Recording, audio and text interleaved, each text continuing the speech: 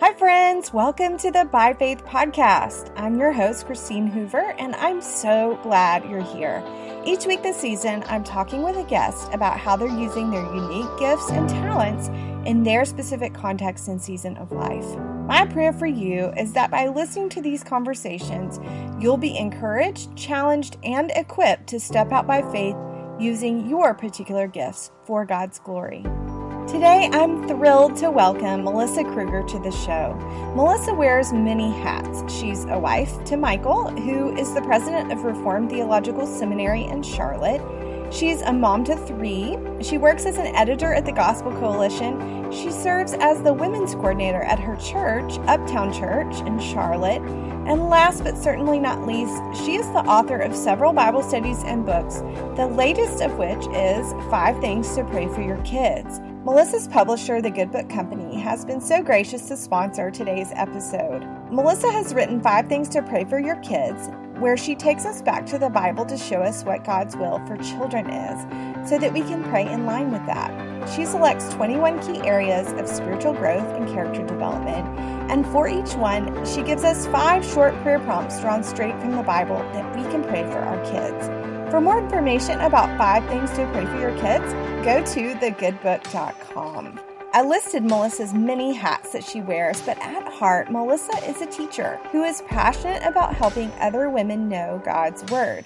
So I invited her onto the show today to talk specifically about teaching. We chat about how she's cultivated her own gifted teaching and how she's helping other women learn to teach.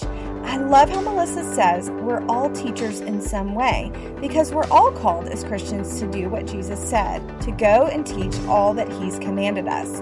We also talk, Melissa and I, about the insecurities and discouragement that she's faced as a teacher and what she's learned specifically through those things.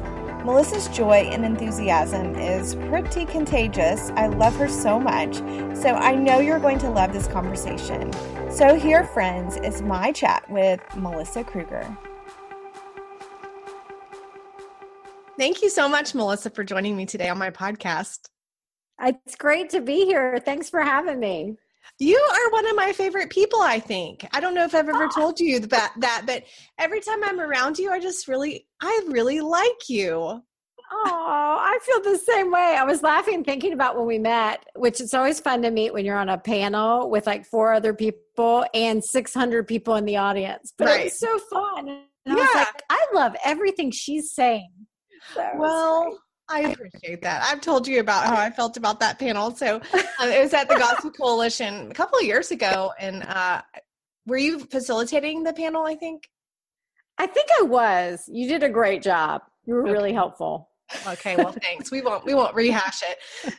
Um, but can you maybe for those who don't know you who are listening, will you introduce yourself?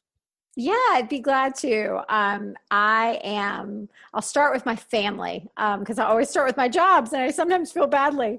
Um, I am married to Mike, who works um, for Reformed Theological Seminary here in Charlotte. He is president, but he's a New Testament professor. Um, and then we have three children Emma, John, and Kate. My oldest just turned 18, so I'm it sounds terrible to me um, and i can't believe she's going to leave me next year after after all these years of getting to be her mom. Does she know where she wants to go? She does. She really wants to go to unc chapel hill here in north carolina. So she'd only be about two and a half hours so we completely approve that. Yes. we think that'd be great. Mm-hmm. um, and then I work at my church. I've worked at my church for 10 years. I've been on staff doing women's ministry. And then I also have worked for the past couple of years with TGC um, as an editor for them. And now I'm doing more content and books for them. And so I like both jobs and they both feed each other. Um, but sometimes it's a lot of balls to be juggling. Um, yes. As you know. you wear a lot of hats because I'm thinking your husband's job probably requires you to be present at certain things. Uh, yes. And then your job your jobs and then you're a mom so there's a lot of hats you're wearing and i would love to know in what ways you think are i would love to know what you think your sweet spots are like what really about those things makes you come alive that's a great question i feel like the lord has been in this process of slowly showing me what those spots are that I really love to, to do. And I would say primarily I have always felt called to teach. I was actually a high school math teacher in my other life, is what my mom used to say, and now I understand why she says that. Um, so I, I love teaching high school. I love teaching kids. So I realized that really translated well into teaching the Bible. I love doing that. And and what I've even learned that I love more than being up front teaching is I love teaching through writing Bible studies for women. So I was so um, cared for and loved on by people like Kay Arthur, who took the time to write studies. So it taught me by doing how to study the Bible. And so I'm so thankful for that. So I love doing that for other women and kind of giving back to them what was given to me. But I've also really found I love doing leadership development. And that I didn't know about. You know, I think that's the one, the door that the Lord keeps opening up. I like sitting around with a group of women and brainstorming about how we can do ministry ideas. How can we move from, hey, mentoring is a really great thing to making a whole system in our church so we can help that flourish. You know, I love getting to the practicals, I guess. So often we talk up here about, yeah, women's ministry is important or this is important. I'm like, but how do we do it? So I really like getting in the nitty gritty and saying, how do we actually live this out in the church? So mm-hmm. that's those are the two main ones. Is your role at the church full time? No. um, it's supposed to be um, 15 to 20 hours a week, which you know it's ministry. Right. So i feel like those are those are always um because the, the tough thing with ministry and the wonderful thing about ministry is so often your job is people. And so when there is a crisis you can't say well that didn't really happen on my scheduled time right. for work. So it definitely ebbs and flows and I, am trying to do a better job of forcing um, rest into my schedule and i am not good at that so that's mm. that's something i'm learning. You are probably a strong do you have strong leadership gifts as well as teaching? I think so. I would I, I would say i love leading women from below rather than above if that makes sense. And i even really like my job description is that i am not the captain of the ship running where we're going as women, but more I'm there to help women use the gifts they've been given um, to go out into the church, and I'm there to support them. So, I, for instance, one thing we do is we have a lot of outreach Bible studies. Um, a lot of women don't even know what curriculum to use, where to begin, how do I do childcare, and so I I'm not the one leading the study. I'm the one talking to them on the phone so that they can learn how to lead the study um, and help them find good resources. So I feel like I'm underneath trying to help women, which I'm really more comfortable with that than kind of directing the ship, if that mm-hmm. makes sense. Mm-hmm. This is what I'm thinking as you're talking is when I was in my 20s, these were kind of things that I could see myself doing. I had no basis for that really, besides that I had dipped my toe a little bit into ministry because my husband was a pastor. But I'm thinking for somebody who's in their 20s, they're wondering, how did you get these jobs? How did you get on staff at a church doing women's ministry? Because a lot of churches don't hire women to for for these kinds of positions. They're they're volunteer.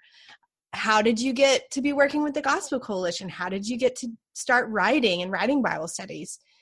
How did you get where you are? I like to call myself the accidental writer, the accidental women's ministry person, the accidental editor for sure. I mean, I majored in math in college. Nothing I did professionally was leading me down this path. I wouldn't have even thought to go to seminary. And I, I kind of look back, I feel like women today would make that choice. Um, I didn't know it was really an option that I could have chosen 20 years ago. Um, and so I will say, I'm like you. I was married to a man in ministry. So I was full board. I wanted to do it with him. That was a great thing for me to get to be alongside him. And I'm the wife who was saying, Tell me what you're learning. What is this? You know, we, we're having all these discussions and things, but all of it really happened just by slow, small steps within the context of the local church. And I'm really thankful for that.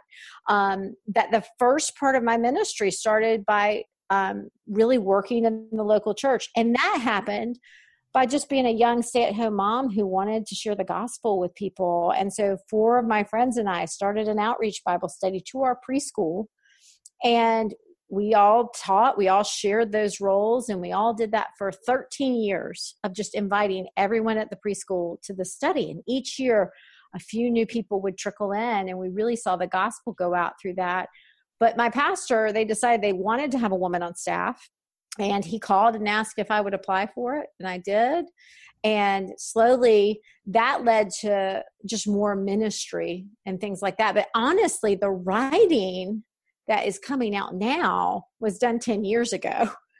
I'm really slow to get published. Um, a lot of it I was writing for those Bible studies because I couldn't find materials. Yeah. Um, now we have a lot more materials that are wonderful out for the church. But if you remember back, if you go back 15 years, there weren't many things available. Yeah. And so that's why I started writing. It was just completely because there was an empty spot. Um, it, and I'd have women, you know, you minister with moms too, they can't make it every week. So I started writing because they would miss a week and I didn't want them to fall behind. So mm-hmm. all of mm-hmm. it was just little slow steps that the Lord brought me along. Um, and all of them have been a surprise to me. I mean, I mm-hmm. really thought I was going to spend, and I wanted to minister in the public school system and run a fellowship of Christian athletes and work with high school students that was my vision. So ministry was always in my vision. I just thought I was going to do it more in a public setting, public school setting, not a specific church or ministry organization. So mm-hmm. I'm so thankful for what I get to do, but it is a shock to me. So what to say to some someone who wants to do these things? I would say just faithfully do them in the context you are and just see what the Lord will do. Um, mm-hmm. Um, whether if you're if you're at a workplace. Maybe you start a Bible study in your workplace at lunch or something like that. So I just feel like the Lord has opened doors um, in really sweet ways. But yeah, the first time we did that Bible study, we had five women, and four of them were the leaders. Okay, yeah, so things starting small. Yeah, I think is really normal, and that was for two years. We did that, and slowly the Lord made it 30 and 35 women in your living room and things like that. But it, it's just amazing how he gives us the training grounds in these small places. I think that then allows us to do it in a larger context, but he's building us through that process. And so I love looking back and saying, wow, he really did this. Mm-hmm. Um, and I'm thankful. Well, also, I think you took a step out to say, I'm going to invite people to my house. You just mentioned it was in your house, which I didn't picture that before, that you invited them to your house. And that takes a really for a lot of people that is the biggest step is just to say i see a need and i'm going to be the one to meet it do you remember mm-hmm. those that moment when you made that decision kind of went went through your head yes I can actually remember I was I lived in kind of a different side of town than most of my friends. So what I really remember is I was sitting on the playground at the preschool by myself and no one talked to me you know all these moms are running around. It felt like everyone had their friends and i was just kind of sitting there with my two year old and i it, and so i'll say this it actually the first thing it started with was prayer and loneliness. And so i was sitting there and i just said lord you've clearly put me in this preschool. Will you open doors um, so that i can get to know women to, to share with them? And then in god's grace a couple of my friends did move near me and they entered that preschool and so all of those things happened but yeah it I think it starts with the willing heart to say, Lord, will you use me here? I'm not just at this preschool randomly. It's not what I would choose. I'd really like to be with all my girlfriends at the preschools they're at.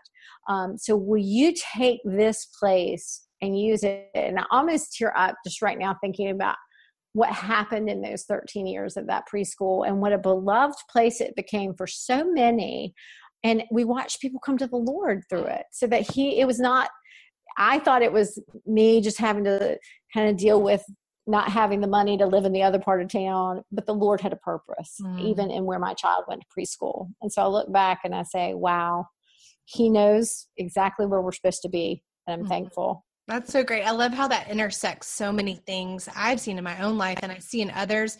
I was just talking to a young mom just the other day and she said, because I'm new to a place, I just feel like I want other people to feel welcome because I know what I've experienced being new. And I think that's where God calls us often is because we see the need and other people don't see it. They don't feel the same conviction about that thing, like what you're saying. And so sometimes just seeing the need is often God calling us to be a part of the solution somehow and just to be faithful to do the next thing, which is what you did. I'd love to talk more about the teaching aspect of that though, because you're you now have invited women into your into your home and and now where you are now you do a lot of teaching and a lot of equipping of other women who are teaching. I would love to know how you first knew that that was maybe a gift that God was cultivating in you and how did you then cultivate that gift? That's a that, that's it's it's a little bit actually embarrassing when I think about it when I look back. I became a Christian um, really through the Fellowship of Christian Athletes at my local high school.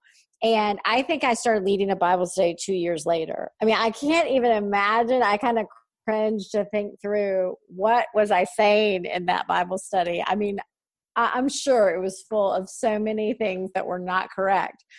But I, I think it was just the Lord showing me that this is what he wanted me to do. I mean, that, you know, it's almost like I came to Christ and all I could think of is now I need to teach someone else about it. Um, and, and really, so in some sense, it's for all of us because of the Great Commission. I mean, mm-hmm. not everyone's going to be a formal teacher up front, uh, you know, in front of people, but the Great Commission is go and teach all that I've commanded, you know, so it's, disciple making is just about turning to the person behind you and saying, Hey, here's what I've learned about Jesus. Let me tell you. Um, that feels a lot less scary than teaching. you know, yes, we say, yes. Oh, I'm just looking at this text with you and saying, Hey, I heard this about this. And, and we're all having a conversation about it, and the Holy Spirit's our guide. And so, from that point, really from 16 on, I can't think of a year I wasn't leading a Bible study in some in some way. Um, and so the lord again kept bringing opportunities. And and i would say i was eager to learn. So when i'm looking for women who who are probably gifted with teaching i would say they tend to have a really strong desire to learn themselves um, that they want to understand that they're naturally curious about the text. Maybe that's a way that they don't just read it and say hmm that's interesting. They're like, oh no, what's a Samaritan? Why does it talk about the Samaritan woman here?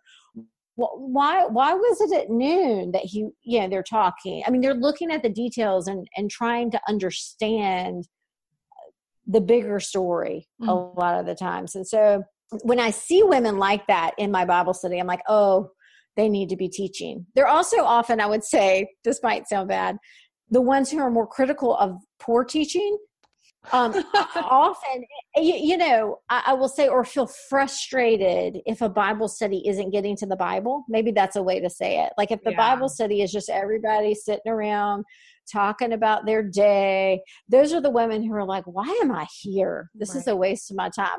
Well that's a woman who probably needs to be teaching and she because she wants to get people in the text. She doesn't want to just sit around and talk about you know the weather or whatever right, she right. wants to dig deeper and so sometimes it's the ones who might find problems in what's going on that i think are the very ones who maybe that's their gifting mm. um, in, in the church and so you know but but that's how the way the lord opened the doors for me was just through openings that continually arose and just a strong desire to do that with them. It's probably my happy place to be sitting around with a group of women talking about the Bible.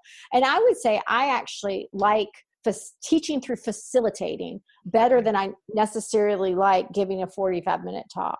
Mm-hmm. I want to hear what you think about it. And I want, yeah, that helps me really care for my women even better mm-hmm. to kind of hear them engaging the text mm-hmm. rather than me just teaching it. So that's kind of my favorite time. I love how you're bringing up different types of teaching because we we think often of teaching as someone standing at the front of the room like a pastor does. But teaching can happen in in discipleship as you said.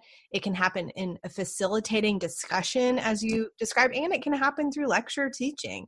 Uh, so I would love to know as you pinpoint those women, if you're seeing women in your church in your role as the women's minister, and you think they might have that gift, how are you cultivating that? How are you pulling them out and giving them opportunities to practice and to see if that's something God would have them to do?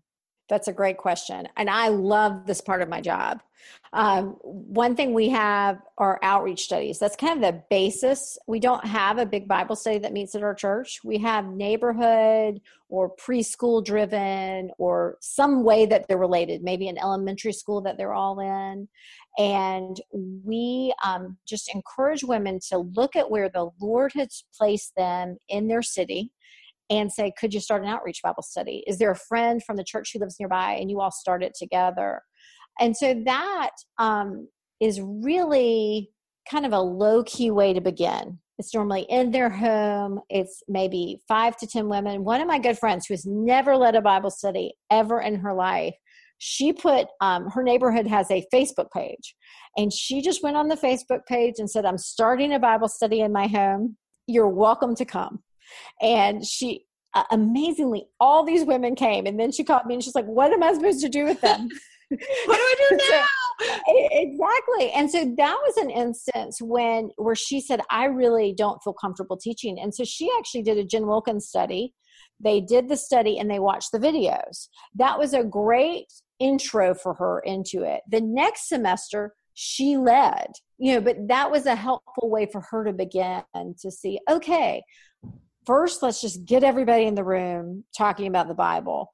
The next semester she led herself um, and has continued the bible study has continued to go on. So that's the first step in our church kind of is to lead something like an outreach day. Then we have women's sunday school. Um, our sunday schools are done in eight week rotations so we have times when women teach women. And what's great about that that's more like standing up and teaching probably 60 to 70 women. So that's a little bit different. It's a little more um, teacher driven, less facilitator model.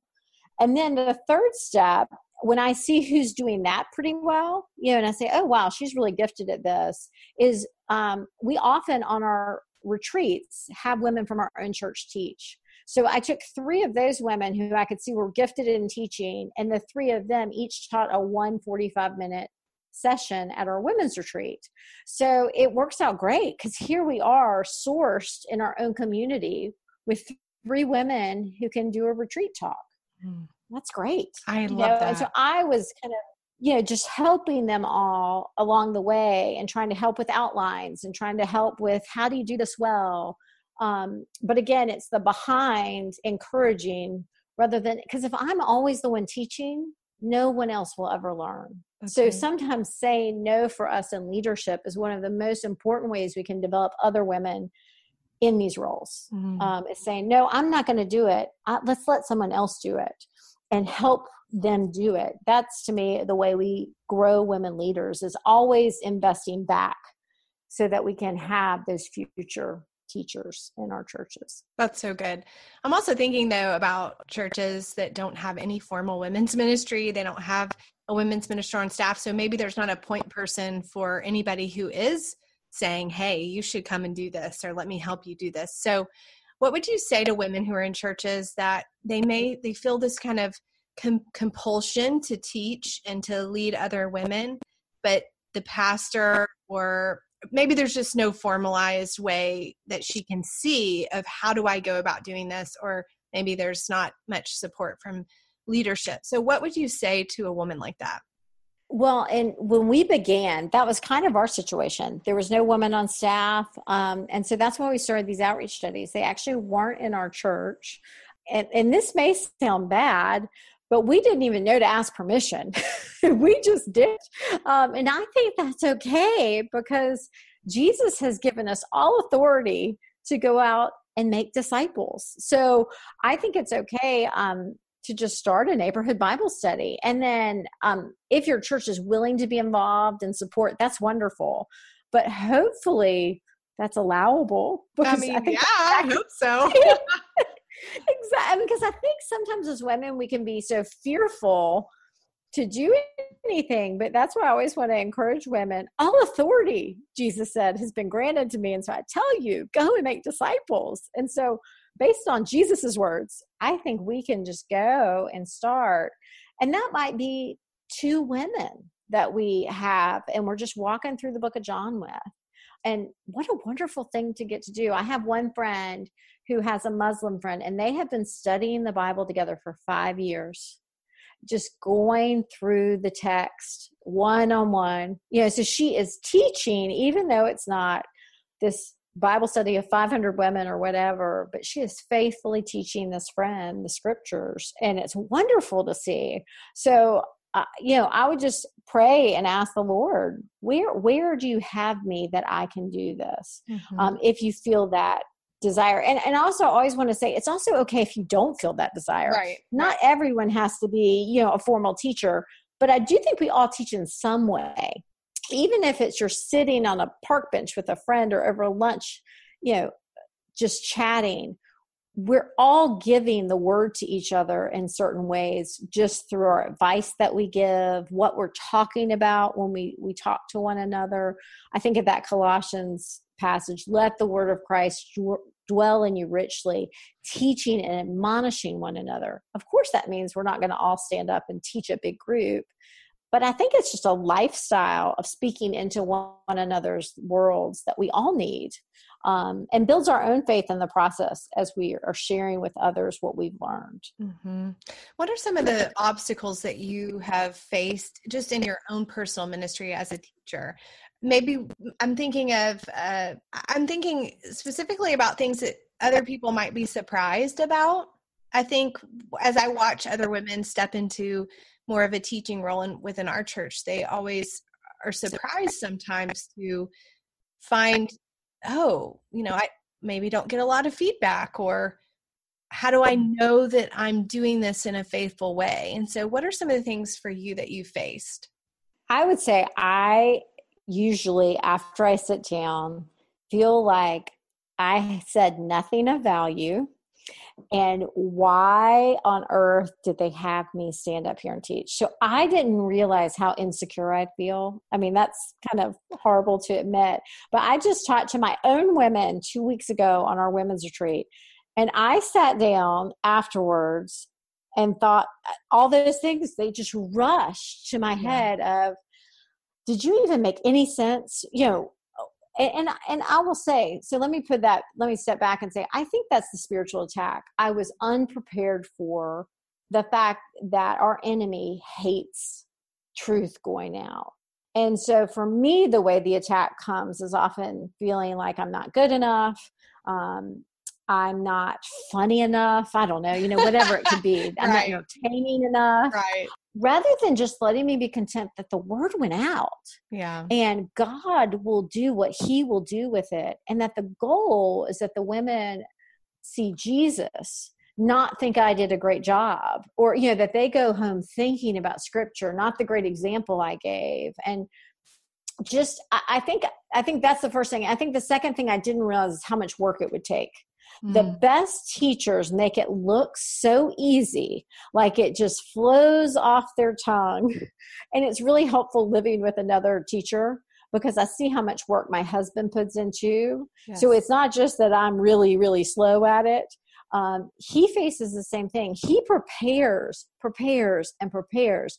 And when he stands up there, he makes it look so easy. And I, you know, kind of want to throw my shoe at him because he makes it look so easy. Right. And, um, and, and then I realized, oh, it, what you see in a 45 minute talk took hours to yes. prepare. Yes. hours uh, hours of study and you left so much on the cutting room floor that you never even got to talk about um, in those 45 minutes. So I, I think it's both the, um, I thought I'd be more confident in teaching God's word by now. And I thought it would come a lot quicker than it does. mm. So, do you ever get discouraged about teaching? or just in ministry in general yes absolutely sometimes it's just you know is that and i will ask myself this regularly is this the best use of my time and gifts. You know sh- is this what i should be doing? Um, and so there's just discouragement that can come too with the the workload that we've all been given. I mean you know as as you have as well just as a pastor's wife and a writer and all of these balls we're juggling mm-hmm. i think sometimes discouragement comes in that you can spend a lot of time in ministry on something and sometimes see no fruit from it I mean, some of the most painful things are people my husband and I have invested in for years. And then sometimes they just walk away. yeah, from the faith altogether. Walk away from your church and then walk away from the faith altogether. And that's discouraging. Yeah. You know, you just are thinking, did I not love them well enough? Did oh, did I do something wrong that caused them to walk away? Now I know that's not true, but it's just where the discouragement can come in. If we had done something better, maybe they wouldn't have walked away mm-hmm. or things like that. But I, I think ministry I think there's a continual battle for discouragement. And I don't even think that that's wrong. I think that's why we hear when God is talking to Joshua, he says, Don't fear, for I am with you. Be strong and courageous. We still need that message today in ministry. Our giants look different, but they're still there.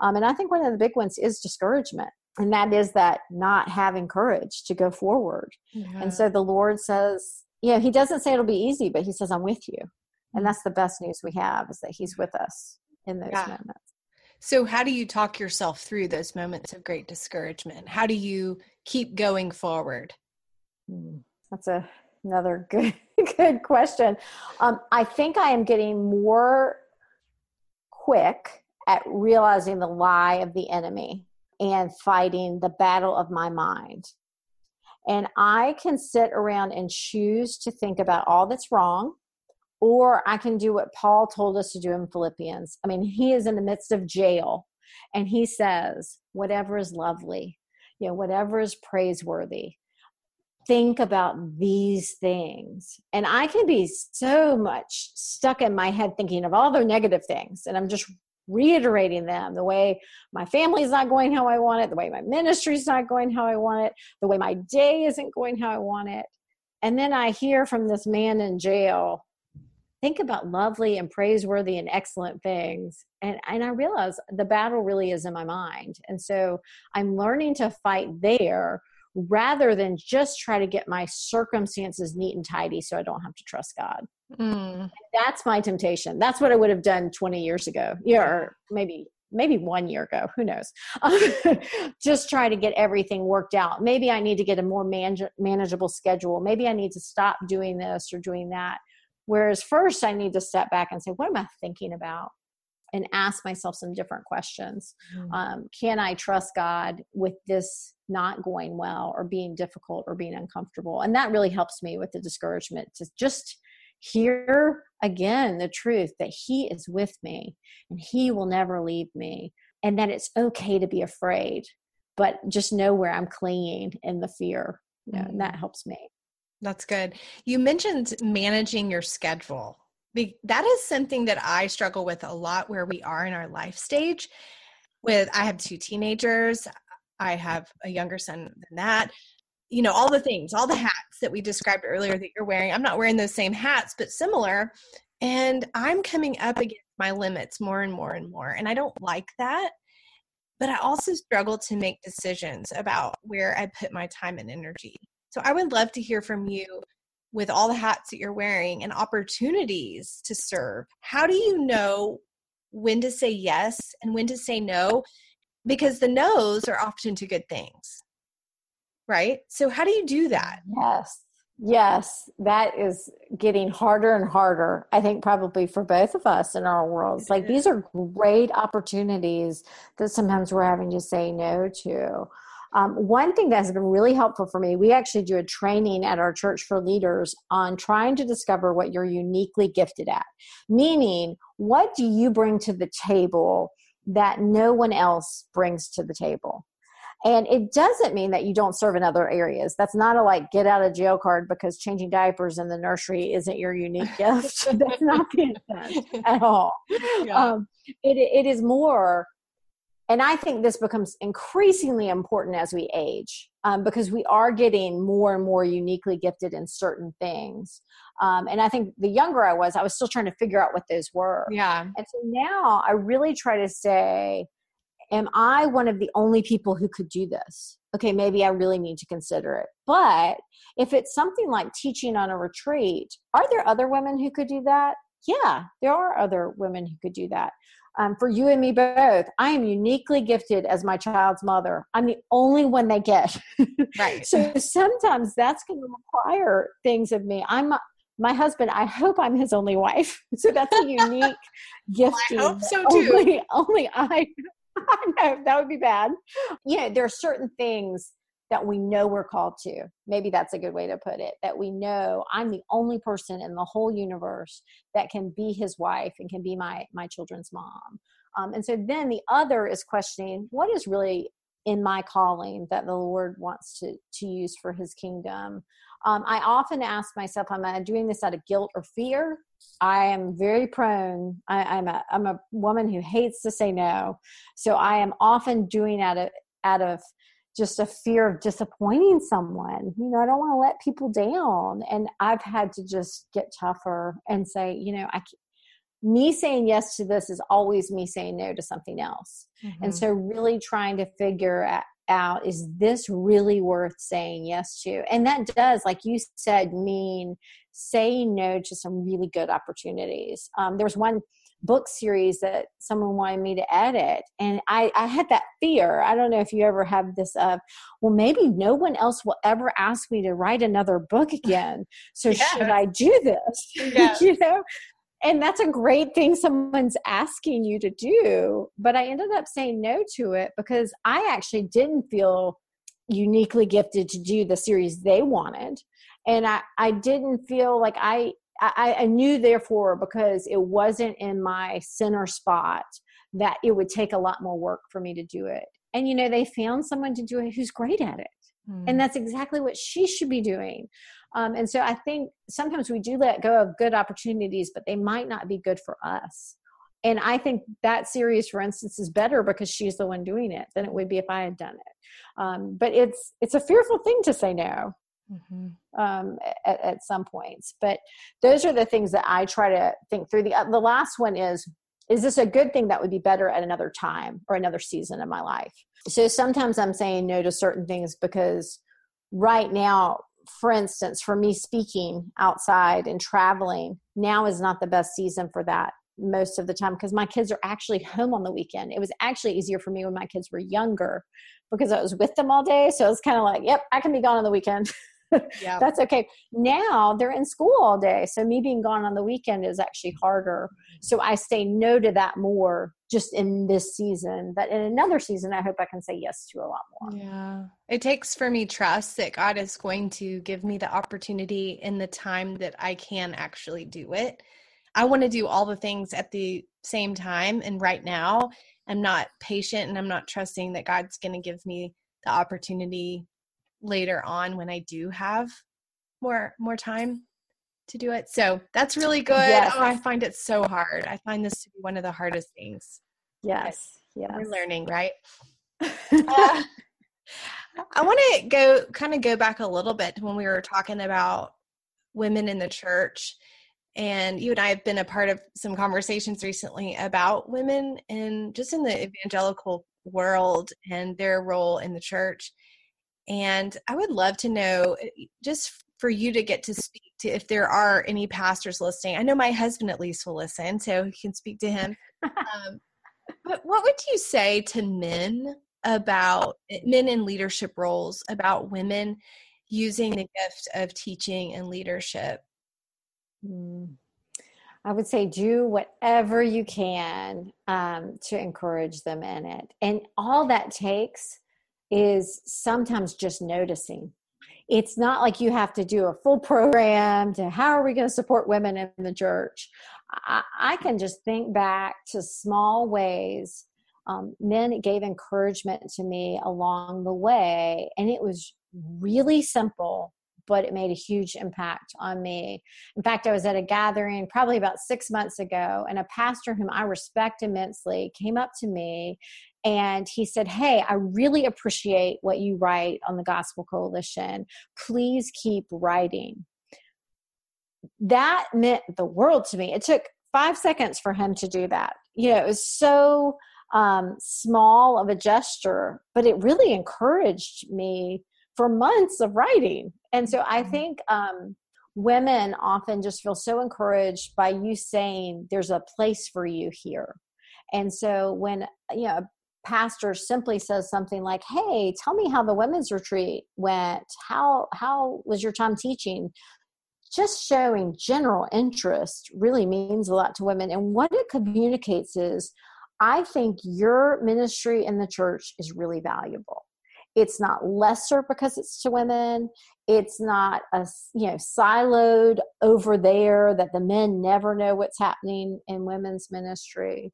Um, but it's really valuable. It's really important, and I want to hear what's going on with it. I think just showing that kind of respect and concern can be really helpful that a pastor can do and really help the the ministry of women flourish and i always think about it was paul writing to timothy or uh, sorry it was actually paul writing to titus um, to say have the older women teach the younger women it was two men talking about women's ministry mm-hmm. so i'm hoping that pastors are having the conversation make sure this is happening in your churches. So I, I do you know want them to be thinking through how can we help spur that on? Because paul was doing it back in the first century. So hopefully we're going to keep that trend up and that pastors are going to talk about how are we making sure this is happening? Because our churches will be so much stronger if we have older women teaching younger women and we need it desperately in our churches. Absolutely. Because I, I think my fear is the younger women are going to leave and go find that elsewhere, or they're going to use that gift elsewhere outside of the church because there are opportunities for them. But I really, my, I'm just super passionate about this of wanting to see women in within the church, the local church, being supported, encouraged by their pastors and leaders to cultivate their gifts and to use them. Okay, so final question. What are the joys for you in serving? Oh, um, I sometimes have to just step back and say, what an amazing privilege to get to do what we do. You know, I get to one, be a Christian. I mean, sometimes I think right. we lose sight of like the Lord chased me down, redeemed me for himself, called me to himself, saved my soul, sent his son to rescue me. I mean, that's amazing. And then he calls us into building his church. Mm-hmm. And he mm-hmm. invites us into that. And he says, You get to come and labor for something that matters. I mean, think about that everyone who does not know Christ is continually laboring for something that will not last. Mm-hmm. It is like uh, you know building a sandcastle at the sea. It is beautiful for a day, but it will be washed away. And you and I, we get to build for eternity. I mean, what we are doing is going to last. Um, what a what a great thing! I mean, that does it fills me with joy to say, okay, this is hard. Uh, yeah, I mean, the Christian life in Scripture is described as a race, a battle, and childbirth. Let me say that wow. alone helps me because sometimes I'm like, yeah, this doesn't feel as joyful as I think it should. But when I remember how it's described, but all of those activities are incredibly hopeful. You know, you run a mm-hmm. race, you hope that you're going to win the prize when you're in a battle, you're hoping for peace on the other end. And when you're in childbirth, you're definitely hopeful. This baby right, will finally right. come out. so there's the hope of the joy that will come that propels us in our race and in our mm-hmm. bath, battle and in childbirth. And so I think today may feel really hard for a lot of us in the ministry world, but there's the hope. Our rest is coming and our savior is coming and we're going to go to a place where we're going to be celebrating all of what he did in us and through us and in his church for all of eternity. And we're going to be singing those songs of just wonder and amazement. And that hope i actually think gives us present joy today mm-hmm. um, that as we look forward to what will be we can rest assured that what we do today matters that our labor in the lord is not in vain and, you know, I think that's the greatest hope we can have because I think what really weighs people down is they feel like they work and they work and they work and what have I done? They're in Ecclesiastes, yeah. you know, that all, all everything's vanity, vanity, vanity. And we actually get to live lives that aren't that way. So that brings me joy when I look when I look at step back and look at the full picture. That is beautiful. That encourages me today, Melissa. Thank you. I appreciate so much your time and your ministry. We haven't talked specifically about your books. So, the latest one is there's a new one coming out, I think, right? For kids. Yes, yes, praying for children. Yes. So, so it's, it's, a, not for it's kids. Thing, yes, yes, it's a five things to pray for your children. So um, that one's just really going through scripture and praying for your kids. It's, it's just to help parents.